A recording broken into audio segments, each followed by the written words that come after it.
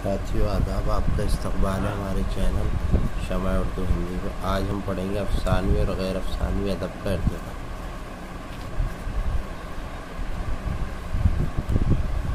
अफसानवी और गैर अफसानवी अदब के इर्तका से मुतक़ जो है, सबसे पहले कुछ बुनियादी बातें। जैसे ये कि उर्दू का आगाज़ कब और किस ज़माने में। जो माहरीन लसानियत होते हैं, यानी जो ज़बान के बारे में उसकी हिस्ट्री के बारे में जानते हैं और उसके बारे में बहुत ज़्यादा डीपली मालूम इकट्ठा करते हैं। उनका मानना उनमें से एक है महमूद शीरानी।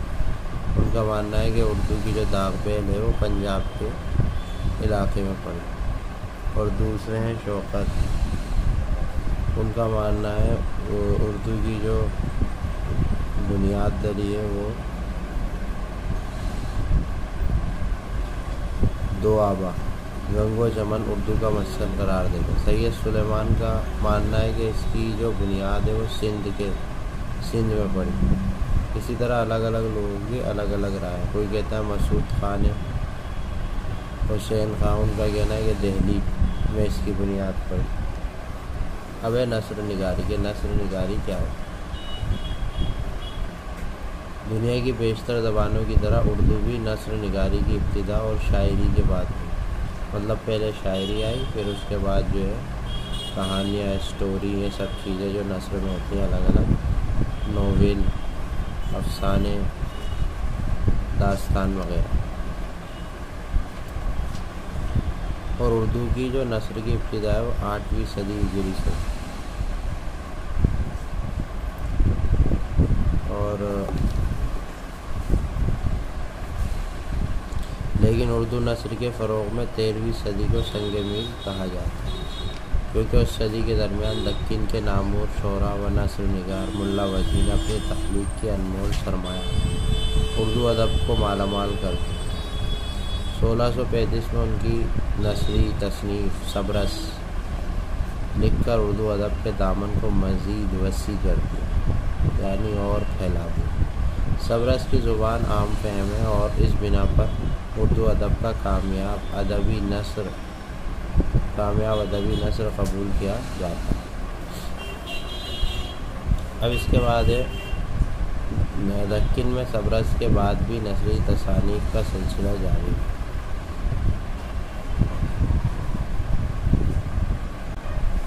तो इसमें जो है, इसके बाद है कि दक्किन में जो सबरस है के बाद नसरी तसानीफ़ का सिलसिला जारी मतलब जो है, कहानी हिस्से वगैरह लिखना शुरू हुआ। मजहबी और तसवुफ़ के अलावा दीगर मौजूद पर भी छोटी छोटी किताबें। यानी मजहबी किताबें जो लिखी जाती थी और तसवुफ़ पे, यानी सूफियानिज़म पे सूफी निज़म पे, उसके अलावा भी बहुत सारी किताबें लिखी जाती फ़ज़ल अल फजली करबल कथा शिमाली हिंद की पहली किताब है, जो सत्रह सौ इकतीस में मुकम्मल है ठीक है, इसी तरह जो है और भी बहुत सारी किताबें लिखी गई। मेन मेन मैंने आपको बता दें। अब देखिए, हम जो चल रहे हैं, पढ़ते हैं, देखिए, ऊपर से।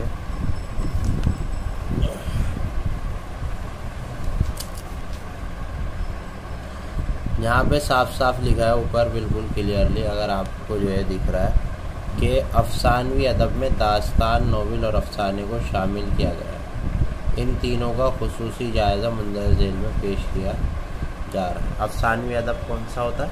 जिसमें दास्तान, नावल और अफसाने शामिल होते हैं। ठीक है, बिल्कुल आसान हो गया, तीन चीज़ें शामिल हैं।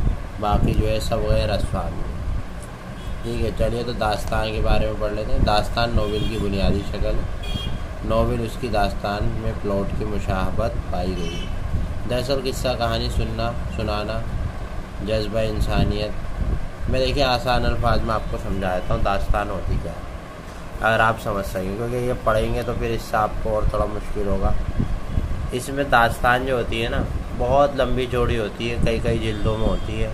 और इसमें जो है माफ़ोकुल फितरत नासिर यानी जादुई किस्से कहानियाँ होती हैं तिलिस्म होता है, जादू होता है।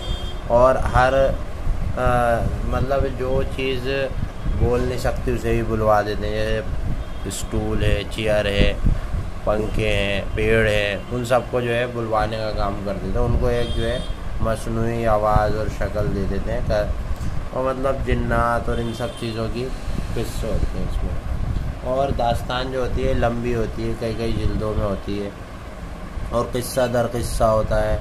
और इसके अंदर जो है आसान ज़बान होती है और पढ़ने वाले की दिलचस्पी बढ़ती चली जाती है। ठीक है? और इसके जो वो है मतलब ये एक ही उसके कहानी के इर्द गिर्द कहानियाँ घूमती रहती हैं। कहानी दर कहानी होती है, दिलचस्पी होती है।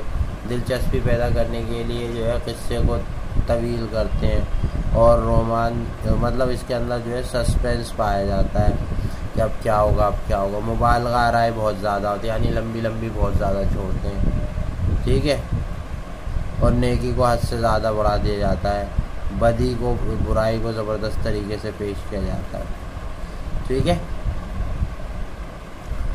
अब इसके बाद जो है, इसमें जो वो है, दास्तान, कुछ दास्तान है उनके नाम देख लेते हैं। अब जैसे यहाँ पे बता रहे हैं कि 1800 में कलकत्ता में फुट विलियम कॉलेज के क़्याम के बाद उर्दू को मज़ीद फ़रोग मिला और कई किताबें लिखी गई।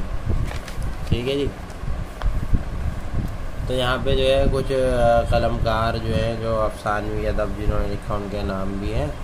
और पहली किताब जो है, उर्दू नसर की फोर्ट विलियम कॉलेज में इदारा यहाँ उर्दू नसर की पहली किताब बागो बहार के नाम से एक रोशन मीनार की तरह उभरती चली गई। बागो बहार में मीर अमन की तख्लीक है जो फ़ारसी किताब किस्सा चार दरवेश का उर्दू है। ये इम्पोर्टेंट पॉइंट है आपके लिए ट्वेल्थ वालों के लिए एन आई एस इस किताब में चार दरवेश की कहानी है, मीर अमन के इनहराफ में रजब अली बेसूर ने फसाना एजाब लिखी उसका ताल्लुक दास्तान लखनऊ से फसाना एजाब जो, बहुत मुश्किल है। ठीक है जी? अब देखिए, नोवेल की बात आती है। नोवेल का जन्म दास्तान की कोख से हुआ। देखिए, अब जो है, लोगों के पास वक्त कम हो गया। पढ़ने का वक्त ही नहीं है लोगों के पास। तो उन्होंने कहा कि भाई, ये इतनी लंबी लंबी जिल्दें और इतनी सारी भारी भारी किताबें, कौन पढ़ेगा आने वाले वक्तों में, जबकि मशीनरी लो रहे तो उन्होंने कहा कि इसे एक मुख्तसर कर दो, एक ही किताब में कर। दो एक किताब में जो है, नावल आ जाती है पूरी। वो दास्तान जो है, उससे बड़ी होती है। तो यानी ये जो है, दास्तान को ही देख के बनाया। नावल दरअसल एक नसरी हिस्सा है, जिसमें हमारी हकीकी ज़िंदगी का अक्स नज़र आता हकीकत में ज़िंदगी की तस्वीर कशी, नावल अंग्रेज़ी ज़बान का लफ्ज़ है, जिससे जो अतावली लफ्ज़ नवेला से माखूज इसके मानी है इस तरह से लोग अंग्रेज़ी की तोसुस से उर्दू में नावल की शुरुआत सनती इनकलाब के पस मंज़र में हुई और नए समाजी रिश्तों के अदराक ने इसकी शुरुआत बहतियार अंग्रेज़ी नावल गुआए आदम को कबूल किया जाता है। ने इंसानी ज़िंदगी का मताल करके माशरे की फलाह के लिए एक न, एक नज़रिया कायम किया। अब देखिए यहाँ पे जो बात है मेन उस पर आते हैं मुद्दे पर उर्दू नावल निगारी का आगाज़ डिप्टी नज़ीर अहमद के हाथों हुआ। ठीक है मतलब नावल का जो आगाज़ है, सवाल आ जाता भाई नावल का आगाज़ जो है, किसके हाथों हुआ? तो आप जवाब में लिखेंगे, डिप्टी नज़ीर अहमद। जंग आज़ादी की नाकामी और सियासी इनकलाब के साथ साथ समाजी शौर और अखलाकी कदरों में भी इनकलाब आया। महकूमी के बाद इल्म फ़न के लिहाज से अंग्रेज़ों का दौर बड़ा इनकलाब फैज साबित। हुआ नज़ीर अहमद ने मुसलमानों की मुजहार में हिचकोले खाई। सफ़ीने को सही सालिम किनारे लगाने के लिए जोहरा अपनाया उसे नोबल निगारी का। इसके ज़रिए उन्होंने इस्लाई माशरा का फरीज़ा अदा किया। मतलब ऐसे नावल लिखे जो समाज में तब्दीली लाएँ, समाज में जो है एक तरीके से बदलाव लाए।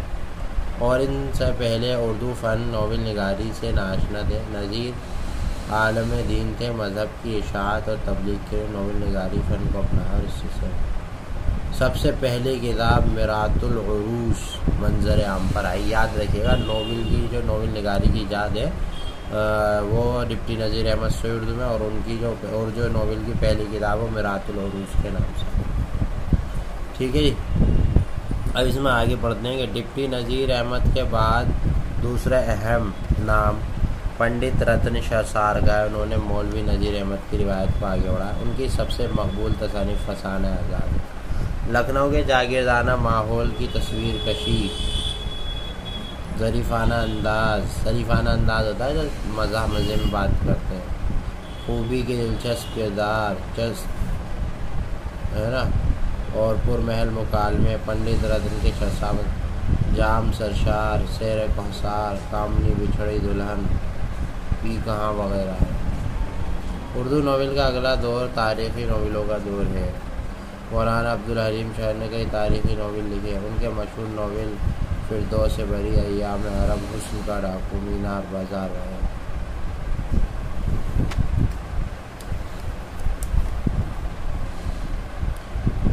अज़ीज़ और हिना उनका अगला नावल है जो उन्होंने अट्ठारह सौ अट्ठासी में लिखा। उनके नावलों के मौजूद ज़्यादातर तारीख़ी अब यहाँ पे जो है भाई वही पूरी जो है ज़बरदस्त हिस्ट्री दे दी इन्होंने कि किसने क्या नावल लिखा है, किसने क्या लिखा है। ठीक है? तो इसमें आप जो है पढ़ लीजिएगा। थोड़ा थोड़ा ध्यान से भाई किसने किसने मुस्लिम ख़ातिन के ऊपर आवाज़ उठाई और जो है कुरतुल हैदर ने आग का दरिया किशनचंद ने शिकस्त, है ना? ये सब जो है नावल लिखे गए उस ज़माने में जो कि बहुत ही मशहूर हुआ ठीक है। मौजूदा दौर में भी नावल लिखे जा रहे हैं और नावल निगारी में जो कुरतुल हैदर जीलानी बानो आमना, अबुल हसन, काजी अब्दुल सत्तार, जोगेंदर पाल, ये सब जो है एक अच्छे आप कह सकते हैं इस वक्त के अहम नावल निगार हैं। अब जो है यहाँ पे बात आती है अफसाने की। देखो, और आसान अल्फाज में बताऊँ तो अफसाना भी जो है दास्तान से ही बन के निकला लेकिन थोड़ा सा मुख्तलिफ़ है देखिए, दास्तान जो थी, वो बड़ी लंबी होती थी जिल्दों में होती थी, कहानी दर कहानी। फिर उन्होंने कहा कि भाई वक्ता में तो चलो, नॉवल लिख लो। नॉवल जो एक किताब में पूरी हो जाती थी, एक किताब में दो दो नॉवल भी होती थी, उसमें भी कहानी दर कहानी थी। अब लोगों के पास वक्त ही ख़त्म हो गया तो उन्होंने कहा कि भाई अब जो है, इतना भी वक्त नहीं है हमारे पास कि हम जो है, नावल पढ़ सकें। तो अब मशीनी दौर की पैदावार है, अफसाना तो इसकी कोक से जो अफसाना निकला। और अफसाना जो है, किसी एक मौजू के बारे में लिखा जाता है। ये नहीं कि भाई कहानी दर कहानी और इसके बाद ये कहानी और उसके बाद वो कहानी। सिर्फ़ एक ही मौजू को इसके अंदर बयान किया जाता है। एक टॉपिक पे चलता है और उसी पे ख़त्म हो जाता है। मान लीजिए अगर जो है किसी की ईमानदारी दिखानी है तो एक कोई किस्सा बयान कर दिया और उसमें ईमानदार और जो अफसाना जो होता है, वो बहुत ही आसान अल्फाज में होता है। अब यहाँ पे इनके बारे में पढ़ लेते हैं। यूँ तो इसकी इब्तदा उन्नीसवीं सदी के शुरू में वाशिंगटन अरवन के हाथों अमेरिका में हुई। उन्होंने स्केच बुक लिखकर अफसाने का पहला नंबर। हिंदुस्तान में इसका आगाज़ डॉक्टर जॉन गिलक्रिस्ट के हाथों हुआ। छोटे छोटे जॉन गिल के आते ठीक है? कसस मशरक के नाम से शाया हुआ। डिप्टी नज़ीर अहमद ने बच्चों के लिए छोटी छोटी कहानियाँ मुंतखबुल हकायात यानी हिकायात हिकायात रखा। ठीक है भाई? अब यहाँ पे देखते हैं कि वह उन्नीस, बीसवीं सदी में प्रेमचंद के हाथों का दुनिया का अनमोल रतन उर्दू का पहला अफसाना माना जाता है। प्रेमचंद के हाथों होता है। ठीक है वैसे ये बात भी हकीकत शुदा है कि इससे कबल सज्जाद हैदर यलदरम की नशर की पहली तरंग है। प्रेमचंद ने समाजी मसाइल को अपनी कहानी का मौसू बनाया। यानी जो समाज में बुराइयाँ थी और ये सब थे, इन सब चीज़ों को प्रेमचंद ने अपनी कहानी का क्या बना दिया? मौजू बना दिया। प्रेमचंद ने समाजी मसाइल को अपनी अपनी कहानी का मौजू बनाया और इंसाफ और सियासी आज़ादी की ख्वाहिश को अपने अफसाने गांधीवाद और तरक्की पसंद तहरीक से बहुत मुतासर थे और इंसानी फितरत से भी वे इस तरह वाकिफ़ थे, इसीलिए नहायत मुख्तर अरसे में उन्होंने हमारी अफसानी अदब को लाजवाल कहानी यानी जो इंसानों में लोगों परेशानियाँ और जो वो करते हैं लोग एक दूसरे का फ़ायदा उठाते हैं। उन सब चीज़ों को उन्होंने सामने रखा, किसानों के मसाइलों को सामने रखा, मसाइल। 1936 में तरक्की पसंद तहरीक का आगाज़। हुआ एक सवाल आ जाता है कि भाई तरक्की पसंद तहरीक का आगाज़ कब हुआ? तो याद रखिए 1936 में हुआ। लिहाजा अफसाना निगारों की तादाद में भी इजाफा हुआ। जब भाई ज़ाहिर बात है, जब अफसाने लिखे जाएँगे तो सब लोग उसकी तरफ़ रागिब होंगे और लिखेंगे। कृष्ण चंद, राजेंद्र सिंह बेदी, सादत हसन मंटू, अजमत चौथाई, अहमद नदीम कासमी ये भी आ जाता है क्वेश्चन दो अफसाना निगार के नाम लिखो, चार अफसाना निगार के नाम लिखो। तो आप इसी में से ये जो मैं पढ़ रहा हूँ, सादत हसन मंटू अजमत चौथा अहमद नदीम कासमी हसन अस्करी मुमताज़ मुफ्ती। ये नाम लिख सकते हो। इस खुरातुलैन हैदर, इंतज़ार हुसैन, हाजरा, मशहूर और खदीजा मशहूर। उनके दौर में भी अफसाने लिखे गए। अब यहाँ पे जो है, अगला है कि कृष्णचंद के मौजूद का दायरा वसी उनके यहाँ रोमानियत और हकीकत निगार का मतलब रोमानियत भी है और हकीकत निगार का इम्तजाज भी है। और साथ ही तंजो मज़ा की चाशनी भी। जबान बयान बेहद पुरकशिश ज़िंदगी ज़िंदगी के मोड़ पर कालू बंगी महालक्ष्मी का पुल वगैरह उनके मशहूर अफसाने अब इसके बाद आती है बेदी का लबो लेजा रीमा और घरेलू ज़िंदगी के छोटे छोटे वाक़ इसी तरह अजमत चौथाई ने मुतवसत तबके मुसलमान घरानों के लड़कों लड़कों का चौथी का जोड़ा उनका मशहूर अफसाना चौथी का जोड़ा आप आगे पढ़ेंगे, उसमें आपको ही समझना अब देखिए मुल्क तकसीम हुआ। माँ की गोद सुनी हुई, औरत का सुहाग उजड़ा, बच्चे यतीम हैं। सारे हाथ से अफसाने निगार बेहद मुतासर। उन्होंने अफसाने में इन मौजूद पसंद आजकल ज़िंदगी के आर्जी मसाइल और ज़िंदगी की तरफ़ भी अहमियत दी। ठीक है जी। तो ये सारी चीज़ें थी। अब यहाँ पे अफसानवी अदब तो हो गया, अब है गैर अफसानवी अदब। गैर अफसानवी अदब जो है तस्करा निगारी, तहकीक निगारी, मकाती, मजमून निगारी, सहाफ़त, तंजो मज़ा, आप बीती, खाका निगारी, इंशाइया, रिपोर्ट, ताज सफ़रनामे शामिल इन सभी का मुख्तसर जायज़ा दो। अगर आपको लिखना है भाई अफसानवी और गैर अफसानवी अदब में क्या क्या फ़र्क है तो अफसानवी अदब में आप लिख देंगे भाई अफसानवी अदब में नोबिल और दास्तान और अफसाना आता है। जबकि गैर अफसानवी अदब में जो है तस्करा निगारी, तनकीद निगारी, मजमून निगारी, सहाफ़त, तंजो आप बीती, खाका निगारी, इंशाइया, रिपोर्ट ताज और सफ़रनामे शामिल हैं। इन सभी का मुख्तसर जायज़ा लेते हैं। चलो सबसे पहले हम पढ़ते हैं कि तस्करा निगारी क्या हो। उर्दू में तस्करा निगारी का आगाज़ फ़ारसी के ज़ेर असर अट्ठारहवीं सदी में उर्दू शरा का पहला दस्तियाब तस्करा मीर के नुकात शरा जदीद तस्करा निगारी की इब्तदा मौलाना मोहम्मद हुसैन की तस्करा। आब हयात से हुआ। आब हयात मतलब मौलाना मोहम्मद हुसैन तस्करा निगारी के बानी हैं और इन्होंने से इन्होंने लिखी थी आब हयात। ये इसके बाद और भी। अब चलिए तनकीद निगारी। तनकीद क्या होती है? तनकीद जो है, देखिए जिसका फ़न, जिसका नाम किसी फ़न को परखना, किसी फ़न की खूबियों और ख़ामियों को जायज़ा लेना। तनकीद का बाबा आगाज़, मौलाना मोहम्मद हुसैन आज़ाद के हाल में। मुकदमा शेर व शायरी लिखा। मुकदमा शेर व शायरी में उन्होंने उर्दू के चार अहम इसनाफ़, गज़ल, कसीदा, मरसे में इजहार किया। हाल ही के बाद शिवली, दूसरे बड़े तनकीद निगार माने जाते वाजना नीशोदवी देखो आसान अल्फाज में तनकीद निगारी में बताता हूँ आपको क्या होता है। ये तो किताब के अकॉर्डिंग है। आसान अल्फाज में तनकीद निगारी भी होती है जिसमें आप जायज़ा लेते हैं किसी भी चीज़ का आ, मतलब जी किसी ने कुछ लिखा है तो उसका जायज़ा लेते हैं कि भाई इन्होंने इसके इन्होंने जो लिखा है इसमें क्या क्या खूबियाँ हैं और इसमें क्या क्या खामियाँ हैं। लेकिन खूबियों को तो बहुत अच्छे से बयान किया जाता है। खामियों के बारे में समझना खामियों को इस अंदाज में बयान किया जाता है कि जिसका वो लिखा है कि उसे पढ़ के ऐसा ना लगे कि मेरी लोगों के सामने बुराई कर बल्कि सिर्फ़ उसको हल्का सा इशारा मिल जाए कि ये मेरी कमी है और मुझे इसे दुरुस्त करना चाहिए। तो तनकीद निगारी में किसी के ऊपर कीचड़ उछालना या किसी को बदनाम करना या किसी को बेइज्जत करना नहीं, बल्कि तनकीद निगारी में हम इस तरह तनकीद करते हैं कि सामने वाले को इशारों इशारों में अपनी खामी का एहसास हो जाए। ठीक है? अब इसके बाद आता है तहकीक। तहकीक होता है रिसर्च तहकीक, तनकीद और तहकीक दोनों लाजिम लो मुलाजिम, यानी एक दूसरे पर डिपेंड तहकीकी अमल बुनियादी तौर से तजस से शुरू। ठीक है? अब है मजमून निगारी। आप जानते हैं मजमून निगारी का आगाज़ जो है, सर सैद अहमद खान से। ठीक है? ऐसे जिसे ठीक है। मजमून में किसी एक मौजू पर इजहार ख्याल। अब मजमून तो लिखा आपने, भाई ईद पे मजमून लिखो, अब तो ईद पे बयान करेंगे। दिवाली पे लिखो तो दिवाली पे बयान करेंगे। रमज़ान पे लिखो तो रमज़ान के बारे में बात करेंगे। तो मजमून होता है किसी एक टॉपिक पे ही मुसलसल बात। सर सैद अहमद खां पहले मजमून निगार है।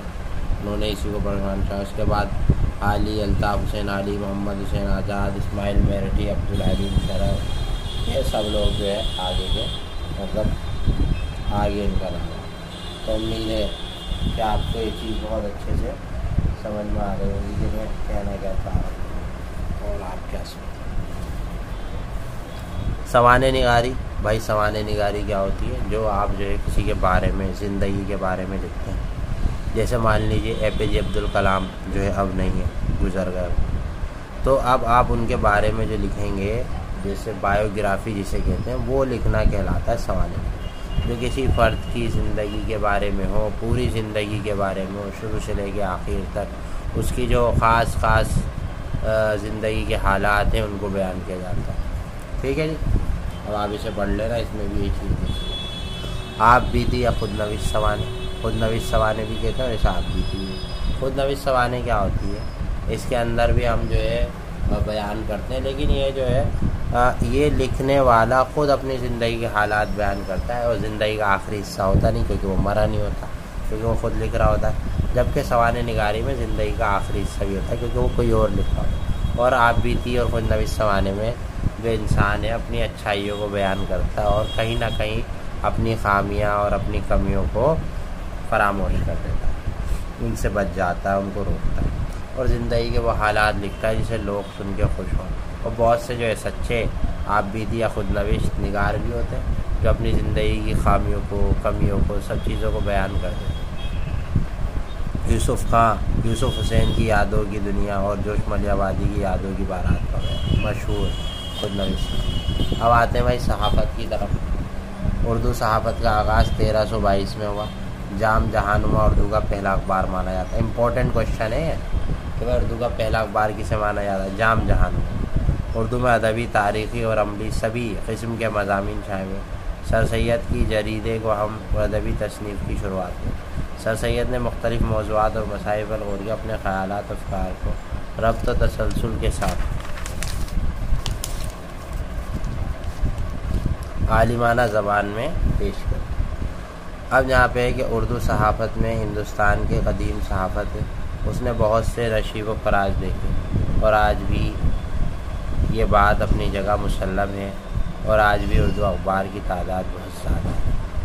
ठीक है, आज भी जो है अखबार पढ़े जाते हैं। देखिए उस ज़माने में कौन? मौलाना अबुल कलाम का अल हिलाल और अबलाग मौलाना ज़फ़र अली का ज़मींदार, मौलाना मोहम्मद अली का हमदर्द और लाला, लाजपत राय का बंदे मातरम और मदीना अखबार ने उर्दू सहाफ़त को फरोगा। अब इंशाइया के बारे में आ जाता है। इंशाइया भी जो है इसकी एक एक है कि सिंफ है। अंशाइया दरअसल जो है कैफियत को बयान करता है। देखिए, इसमें अंशाइया क्या होता है? इसमें हम जो है बहुत ही हंसे हँसी में, जैसे आप जैसे किसी से कोई बात करनी होती है, कोई कोई ज़रूरी बात है तो हँसी हँसी में आप उसको कुछ कुछ कह देते हैं। तो अंशाइयाँ भी ऐसी है, थोड़े मज़े ले लेके, थोड़ा हँसते, खेलते, पढ़ने वाले को मज़ा आए, लुत्फ़ आए, उसकी जो ज़बान होती है, वो ऐसी जो है, सपाट नहीं होती, ऐसी अखबार की तरह नहीं होती। तो पढ़ने वाला जो है बोरियत छा जाए बल्कि उसमें थोड़ी थोड़ी बीच बीच में चुटकियाँ और हँसी मज़ाक भी आती। तो पढ़ने वाले को जो है उसका तसलसल और उसकी तवज्जो और जो है, उसका शौक़ और ज़ौक़ और उसकी जो है इंटरेस्ट इसमें बना रहे। तो इसमें जो है, बहुत सारे लोग हैं, जिन्होंने जो है, लिखे हैं। इसमें सबसे पहले जो है नासिर अली है, सज्जाद हैदर यल्दरम है, अब्दुल अलीम शरण है। ख्वाजा हुसैन निज़ामी फ़रतुल्ला बेग रशीद अहमद सिद्दीकी हैं, सज्जाद अंसारी हैं डॉक्टर जावेद वगैरह। अच्छे अंशाइया निकाल अब आते हैं तंजो मज़ा की तरफ़, कि तंजो मज़ा क्या है? तंजो मज़ा भी जो है उर्दू, तंजो मज़ा की रिवायत बहुत कदीम है। गालिब ने ज़राफ़त के आला मैार देखिए, तंजो मज़ा मैंने आपको बताया ना कि हम जो है तंज करते हैं किसी पे, इशारे में बात करना। गालिब ने अपने खतूत में शगुफ्तगी के जो नमूने पेश किए, अपनी मिसाल आपने बीसवीं सदी के शुरू अदब में तंजो मज़ा का मज़बूत रशीद अहमद सिद्दीकी, फितरत बुखारी, शौकत अली थानवी और जमाल पाशा अच्छे नमूने पेश किए। मकतूब निगारी आप जानती हैं, गालिब क्या तो इसका आगाज़। में मकतूब पहले खाली, कोई सिनफ ही नहीं थी। गैर अफसानवी अदब की एक सिनफ है, मकतूब निगारी गालिब के हाल गालिब ने ऐसे मकतूब निगारी लिखे जिसमें कारी की दिलचस्प अब आसान जबान में ऐसे लगे, सामने बैठे लोग बात कर रहे हैं। गालिब के बाद सर सैद हाली शिबली अकबर, इलाहाबादी, मेहंदी, हसन, राज़ी, सिद्दीकी, इनके भी काफ़ी मशहूर हैं। अब इसके बाद याद आती है भाई, खाका निगारी। खाका निगारी क्या है? क्या चीज़ होती है खाका निगारी? देखिए, खाका निगारी का मतलब है किसी शख्स की शख्सियत की अक्कासी की तस्वीर को चमकाया जाता है। मतलब एक एक ही पेज में पूरी उसकी खूबियों को बयान कर दिया जाता है कि एक लाइन पढ़ के उसकी पूरा पता लगे। खाका निगारी एक ऐसा फन है जिसमें तारीखी, वक्फियत सादा शख्सियत की धूप, छाव का। खाका ऐसे स्लोब और हैत के अतबार से अफसाना है जिसे दिलकश कहानी के अतबार से कहा किसी शख्स की सवा ने अगर नावल है तो खाका उसी शख्स का अफसाना है।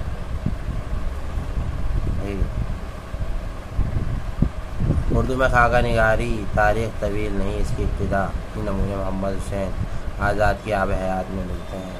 फ़रदुल्ला बे ख्वाजा हसन निज़ामी, रशीद अहमद सिद्दीकी सवाल मिला। और भी लोग हैं इनमें, काफ़ी अच्छे खाका निगार है। खाका निगारी होती कि कम अल्फाज में ज़्यादा बात बयान कर ठीक है तो इस तरह अंदाज में बयान की जाती है कि एक ही पेज में जो है, उसकी ज़िंदगी के हालात सब कुछ अच्छा अब देखिए, अब रिपोर्ट ताज आता है। रिपोर्ट ताज बहुत अच्छी चीज़ है। रिपोर्ट ताज रिपोर्ट से थोड़ा अलग है। रिपोर्ट ताज कहते हैं इसे अंग्रेज़ी में। और ये जो होता है फ्रांसीसी लफ्ज़ का तसलुब है। रिपोर्ट ताज सिर्फ़ चश्मदीद वाक़ात पर लिखा जाए मान लिया आप कहीं जा रहे थे, आपने रास्ते में कोई वाक़ देखा, है? कोई आपने वाक़ देखा कि भाई कहीं जो है लोगों को जो है फ्री में दवाइयाँ दी जा रही हैं, इलाज किया जा रहा है। गरीबों की मदद की जा रही है या जो है लोगों को आसानियाँ की जा रही हैं। आपने इससे पहले ऐसा वाक़ कहीं नहीं देखा तो आप उसके चश्मदीद गवाएँ। चाहे तो आप वहीं पे भी उसे लिख सकते हैं या फिर जो है उसे आप बाद में जाके घर पे भी हैंड पेंट जज्बात और ख्याल का इजहार पुरुष सज्जाद जहीर का रिपोर्टाज यादें, उर्दू का पहला मुकम्मल रिपोर्टाज यादें जो है, सबसे पहला रिपोर्टाज माना इसके बाद भी रिपोर्टाज लिखे गए किशन चंद ख्वाजा। अहमद अहमद चुकता तो सबके नुमाया अब देखिए, इसमें जो याद रखने की बातें हैं इंपॉर्टेंट पॉइंट्स हैं, वो यहाँ लिख दिए गए हैं, ठीक है? जो मैंने आपको पढ़ाया, वही चीज़ें हैं इसमें, ठीक है? अब यहाँ पे इसके मुश्किल अल्फाज और सवाल इरतका कहते हैं, तरक्की को आगाज़, शुरू, माहरीन लसानियत ज़बान का इल्म जानने वाले, तहकीक, छानबीन करना, जदीद, नया तख्लीक़ात लिखा हुआ है, इसनाफ सिंफ की जमा वसी फैलाना तवील लंबा मौजूद मौजू की जमा ज़रीफ़ाना अंदाज व अंदाज इसमें खुश तभी नज़र आए। अब चलिए इसके अख्तामी सवाल जवाब हैं, उनको देख लेते अब यहाँ से सवाल जवाब शुरू भाई देखो, उर्दू नसर की इब्तदा किस तरह हुई? अब वही जो चीज़ हमने पढ़ी, उर्दू नसर की इब्तदा उर्दू शायरी के बाद हुई। जदीद तहकीक के मुताबिक उर्दू नसर की इब्तदा उन्नीसवीं सदी में मीरा जी शमसुलशा बुरहानुद्दीन चमन वगैरह जो उर्दू नस्र में काफ़ी मजहबी रिसाले लिख कर अपने फ़रोग दिया अब देखिए इसमें जो क्वेश्चन हैं इम्पोर्टेंट वो यही है कि शिमाली हिंद में उर्दू नस्र का इरतका किस तरह हुआ?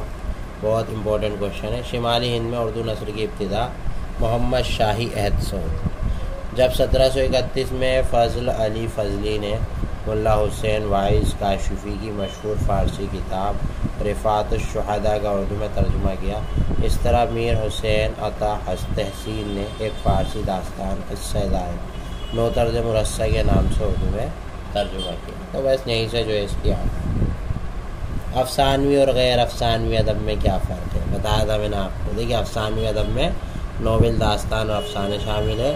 और इन्हीं तीनों इसनाफ का एक ही मकसद है, रो है हिस्सापन जबकि गैर अफसानवी अदब में तस्करा निगारी, खाका निगारी, ये सब वगैरह शामिल आबिदी वगैरह शामिल। अब अगला सवाल जो है, गालिब ने उर्दू नसर की किस इसनाफ को मुतासर किया? गालिब ने उर्दू शेर व अदब की बेताज बादशाही हूँ तो उनकी शहरत, मकबूलियत एक शायरी की हैसियत से ज़्यादा है, लेकिन उर्दू नसर भी उनका एहसान मंद है, क्योंकि उन्होंने उर्दू नसर में भी मकतूब निगारी की जो बुनियाद डाली, वो काबिल तारीफ़ है। गालिब से कबल उर्दू नसर में मकतूब निगारी, तकल्लुफ़ व तसन्ना अल्क़ाब और आदाब से बोझ अल्फाजों की जंजीरों से जकड़ी की गालिब ने उसकी एक बे नया जान फूकी और नया तर्ज अंदाज का ईजाद किया। तो गालिब तो वही गालिब है। मुख्तसर ये कि उर्दू अदब में उनकी नस्ल का बेहतरीन और कुल सरमाया उनकी मकातब है जिसके ज़रिए उन्होंने उर्दू को एक नया रंग और आहंग दिया। उनके खतूत में सादगी और फरकारी व शफुफ्ती उनके खतूत नगारी की सबसे अहम और बड़ी खूबी है कि उन्होंने नया तर्ज, तहरीर की ईजाद किया और मरासले को मुकालमा बना दिया।